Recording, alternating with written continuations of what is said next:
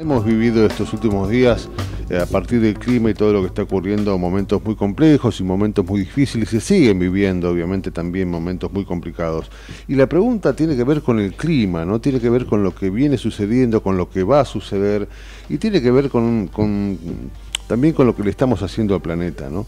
Eh, yo tengo algo muy, yo tengo muy pocas claras eh, las cosas. La verdad que hay cosas que, que uno este, se les escapan, pero a mí me parece que está probado que, el cambio climático está entre nosotros y lo que nos queda hacer en todo caso será adaptarnos a ese cambio para que los impactos y para que todo lo que nos genere este, nos haga el menos daño, el menor daño posible.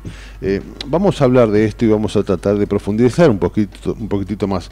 Eh, está del otro lado conectado con nosotros muy amablemente Matilde Rusticucci, que es investigadora y meteoróloga, es profesora titular de la Universidad de Buenos Aires e investigadora principal del CONICET. Matilde, es un placer saludarte. Mi nombre es Raúl Vázquez. ¿Cómo estás? ¿Qué tal? Buenos días, ¿cómo están? Muy bien. Muy bien. En principio, bueno, preocupados porque creo que no estamos escuchando el planeta. Y segundo, creo que no solo no escuchamos el planeta, sino que en el momento que el planeta nos da tregua, le hace este, eh, la seca, no hacemos nada para modificar lo que se nos viene. Eh, ¿Es posible que el cambio climático no, no sea demasiado tenido en cuenta aquí en la Argentina? Sí, eh, el tema del cambio climático es un tema que venimos investigando hace 40 años por lo pronto y cuando uno mira los primeros informes de los años 90 ya eh, pronosticaban, ya predecían que esto iba a venir. O sea, los científicos estamos totalmente de acuerdo, no es una cuestión de, fe, es una cuestión probada, que el cambio climático está, que hay un cambio climático que es generado por la actividad humana y que eh, cada vez se está acelerando más.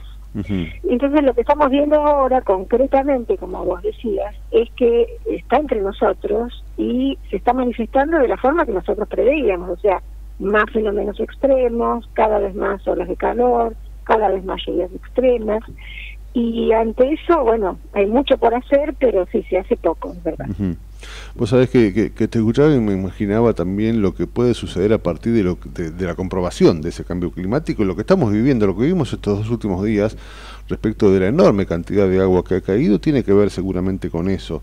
Eh, yo me imaginaba en algún punto que sería maravilloso, digo, eh, que, que, hayan medidas de salud más coherentes para, para paliar esto, este, mm, nada, eh, construcciones que soporten los evidentes cortes de luz que le pueden suceder a un, a un efecto climático como el que estamos viviendo ahora, pero nada de esto sucede y nos quedamos diciendo, bueno, llueve mucho, llueve mucho, ¿qué querés que haga?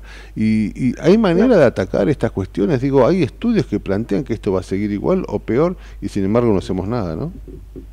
Claro, exactamente. Eh, siempre tenemos que pensar que cuando yo hablo de 40 años, 30 años, hace mucho que ya esto se venía advirtiendo, ¿no? Entonces, si en un país que prevé esto, lo que hace es reforzar sus estructuras, como vos decís, las estructuras eléctricas, que los cables no pasen por, el aire, pasen por, por el suelo en algunos lugares, o los desagües, pensar en que cada vez va a haber más agua, eso ya se sabía, ¿no? Pero además de eso tenés lo que nosotros llamamos corto plazo, ¿no? Venimos diciendo estamos en un fenómeno en niño que iba a llover mucho este verano. De hecho, llovió un montón. O sea, ya sabíamos que este verano iba a ser lluvioso y que este marzo iba a ser muy lluvioso. O sea que si no lo hiciste antes, reforzar lo que está pasando, por lo menos eh, tener precaución en los desagües, ¿no? Pensemos por ese lado. Pero además de eso tenés lo de más corto plazo, que son las alertas meteorológicas. La alerta que te dice lo que va a pasar mañana, pasado, dentro de dos días. Y no las entendemos, ¿viste? No, no, claro. no las entendemos y casi que las dejamos a un costado, ¿no? Y seguimos la vida normal ante una alerta, ¿no? Eso es importante saber por qué no se entienden las alertas. Porque la alerta eh, dice, si uno entra a la página del Servicio Meteorológico Nacional, dice qué quiere decir cada cosa, ¿no? Mm. ¿Qué quiere decir amarillo, qué quiere decir naranja, qué quiere decir rojo? Y se dan con suficiente tiempo como para que, eh, si yo puedo evitar exponerme innecesariamente a esta lluvia, a una inundación, evitarlo, ¿no? Para, porque sé que me, va, me puede causar problemas. Entonces, eh, me parece que lo que hay que hacer es reforzar un poquito el tema de, por ejemplo, la, el servicio meteorológico tiene una aplicación que uno puede tener en el teléfono, y en el teléfono le avisa de la alerta. Si no se dio cuenta, no vio la tele o no escuchó la radio que hay alerta, eh, el, el servicio de la aplicación realiza en su lugar hay una alerta amarilla, naranja o roja, lo que sea. Viste, yo no sé si... Hay que amigarse un poco con eso, ¿no? Claro. Claro, claro. Yo no sé si será así o es, realmente lo que te voy a comentar, no sé si es así o no, pero uno siente que eh, cuando se informa y cuando ve cosas en otras partes del mundo, siente que, por ejemplo, en el hemisferio norte, comparado con América del Sur, parece que hubiera más información, parece que este, lo que sucede en el hemisferio norte es más predecible que lo que sucede aquí en América del Sur. ¿Eso es así? ¿Está cambiando o no? Eh, no, eh, bueno, está avanzando en los dos lados, ¿no? Mm. Siempre el hemisferio norte lo que tiene es que tiene más información, tiene mucha más, más población y tiene más este, servicios meteorológicos por ahí más avanzados. Pero nosotros tenemos muy buena información, realmente tenemos muy buena información. Ya desde la semana pasada sabíamos que esta semana iba a ser una semana terrible y día a día veíamos cómo eh, las lluvias se venían cada vez más intensas, ¿no? Este, entonces, claramente tenemos que tener en cuenta eso. El hemisferio norte lo que tiene es que es un hemisferio que obviamente tiene más continente, entonces tiene olas de calor más intensas.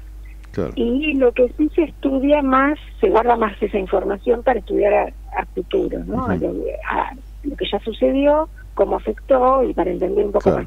Pero nosotros estamos muy avanzados con respecto al hemisferio sur y a, Latinoamérica, ¿no? El sistema de alerta del calor, el sistema de alerta de tormenta, es bastante novedoso que no tienen todos los países. Te hago la, la, última y, tiene que ver con, con, la coyuntura, ¿no? Me imagino, ya no sé si será así, no sé si es correcto nominarlo así o no, pero vivimos este, aquí en la Argentina y, más específicamente en Buenos Aires, tenemos ya un clima evidentemente tropical, ¿no? ¿Esto va a seguir así o en todo caso lo que queda es que empeore, ¿no? ¿Cómo, cómo, cómo viene? Claro, eh, sí, no es tropical, tropical, porque tenemos todavía un invierno, ¿no? Tenemos un invierno que nos está... Pero viste, no sé, no sé cuál es... Este... Se dice que se tropicaliza porque el verano se extendió. El verano está cada vez más extenso, o sea, arranca en octubre y termina en marzo-abril, o el año pasado termina en abril.